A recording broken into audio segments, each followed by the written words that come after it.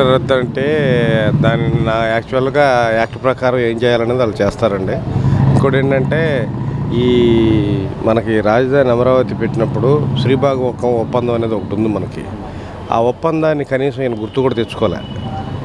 నాయుడు గారు గుర్తు కూడా తెచ్చుకోలే. తెచ్చుకోకుండా గుంటూరులో క్యాపిటల్ పెట్టినప్పుడు కంపల్సరీ అక్కడ వచ్చేటప్పటికెల్లా కర్నూలులో పెట్టాలి. ఎందుకంటే కర్నూలులో తరలించేటప్పుడు ఒప్పందం జరిగింది అది. దాన్ని కనీసం గుర్తు కూడా తెచ్చుకోలే. ఇక్కడ తీసుకొచ్చి రాజధాని అని చెప్పి ఏదో మరి ఇన్సైడ్ ట్రేడింగ్ ఏదో జరిగిందని అంటున్నారు అది వేరే సంగతి. కానీ భూమి అయితే వచ్చింది మనకు తెలిసినంత వరకు. అందులో రైతులకి రైతులు ఇచ్చింది కొంత ఉంది రైతుల దగ్గర లాక్కుంది కొంత ఉంది. అది కొంతమంది సఫర్ అయ్యారు కూడా. నాకు తెలిసి నాకు ఉన్న వాళ్ళ పరిస్థితి. అయితే వెళ్ళి అక్కడ పెట్టుకొని అక్కడ ఉండటం వల్ల ముందు విజయవాడని డెవలప్ చేయకుండా ట్రాఫిక్ ఎంత ఇబ్బంది పడ్డారో ఐదు సంవత్సరాలు మీరు చూశారు నేను చూశాను. ఇప్పుడు జగన్ తీసుకున్న నిర్ణయం ఆల్రెడీ ఎస్టాబ్లిష్ అయ్యి ఉంది. దాంట్లో కొంత ఖర్చు పెడితే సరిపోతుంది. దీనికి లక్ష పదివేలు ఖర్చు ఇప్పుడు మనం పెట్టలేము. రాష్ట్ర అభివృద్ధి చూస్తున్నాడు అతను. ఒక అమరావతి డెవలప్మెంట్ ఆయన చూశాడు. దాని మీద కాన్సన్ట్రేట్ చేయటం వల్లే ఆయన ఓటమికి ఇదైంది.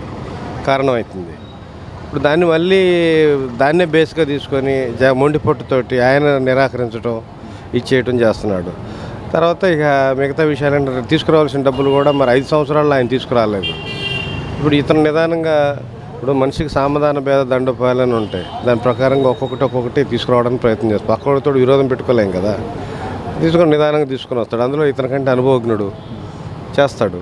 అడ్డుపడుతుంది అని అంటే ఇతనికి అందుట్లో బలం లేదు. ఇతను కొత్తగా వచ్చాడు అతనికి బలం ఉంది. బలం ఉన్నదాన్ని ఇక్కడ అడ్డుకోలేక అక్కడ అడ్డుకోవాలని ప్రయత్నం చేశాడు. అడ్డుకోవాలని ప్రయత్నం చేయటం ఇప్పుడు ఆయనకు ఉండేది ఈగు ఆయనకు ఉంటుంది ఈయనకుండే ఈగు ఉంటుంది కానీ ఈ మధ్యలో ఈ మండలికి అయ్యే ఖర్చు అసలు మండల ద్వారా మనకేంటి సరి జరిగేది? మండలికి అయ్యే ఖర్చు యాభై కోట్లు.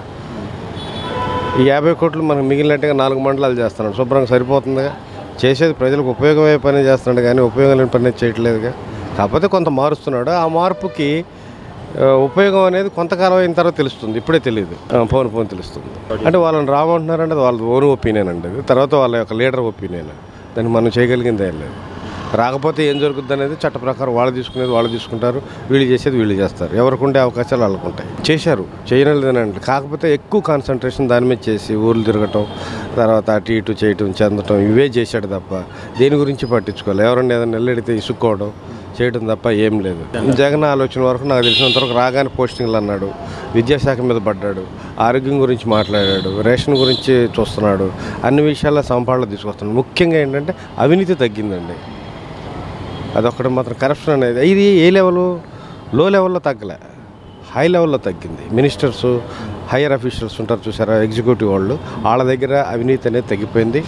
ఆల్రెడీ ఏం వార్నింగ్ ఇచ్చాడైతే తెలియదు కానీ మొత్తానికి అయితే అవినీతి ఈ ఏడు నెలల్లో ఎనిమిది నెలల్లో మాత్రం అవినీతి అనేది చాలా తగ్గింది. నాకు తెలిసినంత వరకు యాజ్ ఒక ఎంప్లాయీకి నేను చెప్తున్నా.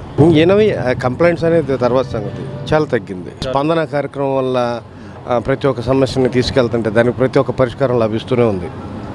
ఎందుకంటే లబ్ధి పొందిన వాళ్ళ యొక్క నేను పరిస్థితి చూస్తున్నా. పథకాలు పెట్టిన మొన్న పెట్టిన పదిహేను వేలు ఆ పథకాలే ఉందిలేండి. అది ఇటు తీసి అటు అటు తీసి ఇటు పెడతారు దానికి ఒక పేరు పెడతారు అది వేరే సంగతి. ఎనీవే లబ్ధి పొందారు. అది మటుకు ఓకే. మంచిదేనండి అది మంచిదే అది. మంచి ఆలోచనే కదా. ఎందుకంటే చాలా రిస్క్తో కూడుకుంది. మరి ఆయనకు ప్రోటోకాల్ ప్రకారం ఇదివరకు తిరిగాడంటే పాదయాత్ర అది ఓన్లీ ఆ నార్మల్ మ్యాన్ కామన్ మ్యాన్గా తిరిగాడు. ఇప్పుడు వచ్చేటప్పటికల్లా ఒక సీఎంగా తిరగాలంటే ప్రోటోకాల్ ఖర్చు ఎంత అవుతుంది? అవన్నీ ఒకసారి బేరీ చేసుకొని ఆ ఖర్చు అంతా మన్నెత్తిన మన్నెత్తిన పడేది అవన్నీ బేరీ చేసుకొని దాని ప్రకారం ఎలా చేసుకుంటే బాగుంటుంది. ఎందుకంటే ఆయన ఒక్కడే అన్ని చూసుకోవాలని కుదరదు కదా. మిగతా మినిస్ట్రీ కూడా ఉంది కదా. ఆ మినిస్ట్రీ కొన్ని బాధ్యతలు చెప్తే ఈజీగా అవుతుంది. ఎందుకంటే వాళ్ళకి అంత ప్రోటోకాల్ అవసరం లేదు.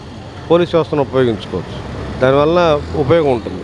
డబ్బు ఆదాయం చేసుకోవాలనుకున్న ఆయన దానికి ఏదైతే బాగుంటుంది. కూర్చొని చేస్తున్నాడుగా. ప్రతి ఒక్క నిమిషం కూడా కూర్చొని ఆలోచిస్తున్నాడుగా. ఎక్కడ తిరగాలి తిరగాల్సినంత అవసరం ఉంది ఇప్పుడు ఐఏఎస్ ఇప్పుడు ఒక కమిషనర్ ఉన్నాడండి. Commissioner road road తిరగడుగా.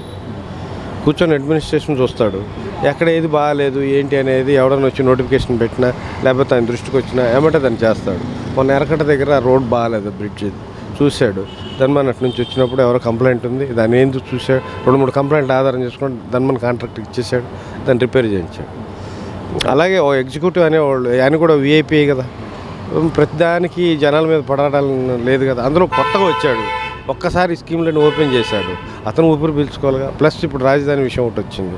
దీన్ని సెట్ చేసుకోవాలిగా. ఇప్పుడు ఖర్చు అయ్యిద్ది అనుకుంటే మరి కోర్టుకి వెళ్తున్నాడు అది ఖర్చుకే కదండి. తప్పండి అసలు. ఆయన ఏమన్నా చిన్న నార్మల్ ఇది కాదు కంటే రాష్ట్రానికి ముఖ్యమంత్రి. ముఖ్యమంత్రి అయితే వీధి వీధి తిరగాలంటే కష్టం కదా. ఊరూరు తిరగాలంటే కష్టమే కదా. ఏదో ఒక జిల్లా స్థాయిలో వ్యక్తులను ఒకరిని ఎవరినో కేటాయించి లేకపోతే ఐఏఎస్ ఆఫీసర్లకి ప్రత్యేక అధికారులు ఇచ్చి వాళ్ళని చూడమన్నా. రెండోది జిల్లాలను మారుస్తానన్నాడు. జిల్లాలను మారిస్తే ఇష్ట ఇది తగ్గుతుంది. దాని యొక్క విస్తీర్ణం తగ్గుతుంది. విస్తీర్ణం తగ్గినప్పుడు కలెక్టర్కి ఈజీ అవుతుంది వర్క్ కూడా. పరిపాలన. ఈజీ అవుతుంది. మొత్తం మీద అయితే పర్వాలేదు. సామాన్యుడికి మధ్యతరగతులకి అందుబాటులో ఉందండి.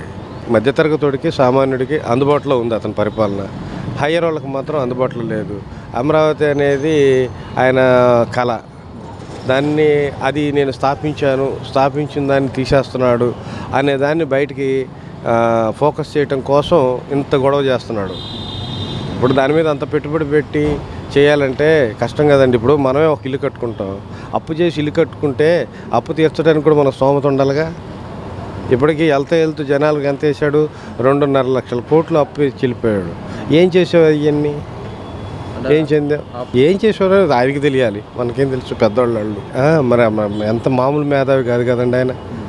ప్రపంచంలో అందరూ మెచ్చుకున్న మేధావి ఆయన. దీన్ని డెవలప్ చేయాలనే ఆలోచనతో తీసుకొచ్చాడు. ఎలా చేశాడు? కేంద్ర ప్రభుత్వం సహకారం లేదంటాడు. కేంద్ర ప్రభుత్వం మేము కొంత సహకారం అందించామంటారు వాళ్ళు కొన్ని కొన్ని విషయాల్లో పోలవరానికి ఈయన వీళ్ళకి వీళ్ళే ముందెళ్ళిపోయి మేము కొంత అమౌంట్ మేము పెట్టుకుంటాం లోకల్ దాన్ని వీళ్ళే కమిట్మెంట్ అయిన దాఖలాలు కూడా ఉన్నాయి. ఎందుకంటే తొందరగా కావాలి వీళ్ళ వాళ్ళ కాంట్రాక్ట్స్ రావాలి అనే ఆలోచనతో అక్కడ కొంత ఇబ్బంది అయింది.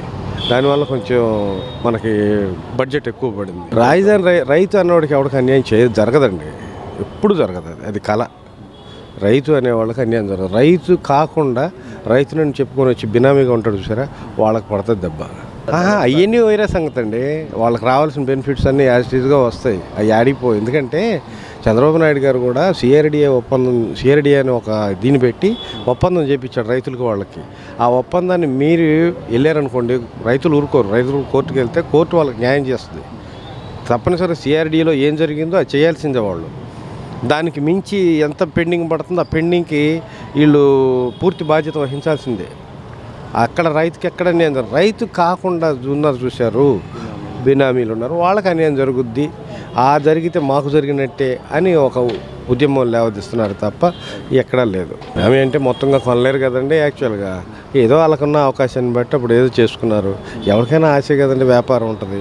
ఇప్పుడు ఓ మంత్రి ఉన్నాడు మంత్రి బంధువులు అందరూ వెళ్ళి బినామీలు కొంటారు. అది మంత్రికి చుట్టుకుంటుంది.